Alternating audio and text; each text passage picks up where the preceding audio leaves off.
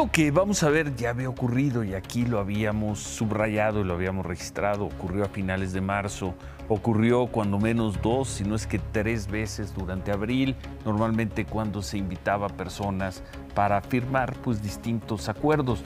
Lo señalamos y parecía que la Presidencia de la República había tomado la decisión de respetar las medidas básicas de distancia social, de sana distancia. Más hoy que se conoció la noticia de que un elemento de un trabajador de Presidencia de la República murió por coronavirus, que se estaba respetando el acuerdo de las medidas de contención que marca que en la Ciudad de México no deben estar reunidas más de 25 personas. Pero hoy, en el día de mayores contagios, de mayores muertos por coronavirus, enfrente de la jefa de gobierno, se dio esta reunión. Ánimo.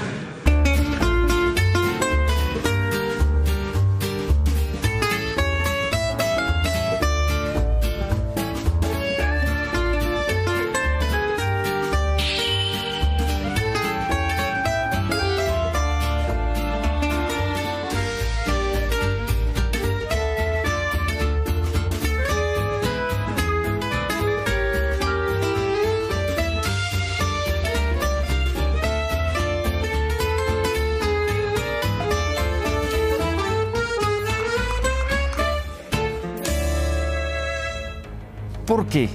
Porque la pregunta es por qué 60, 70 personas reunidas en un lugar cerrado. Se le pidió a las familias, a los amigos, a los que se casaban, a los que se graduaban, se les pidió que no se reunieran en grupos de más de 25 personas. Y miren qué ejemplo.